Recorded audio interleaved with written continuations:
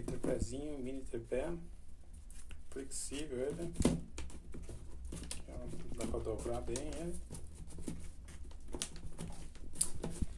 Aqui o regulador para botar o celular. Só empurrar que ele, você coloca o celular, que é flexível. Tá aí, mini tripézinho.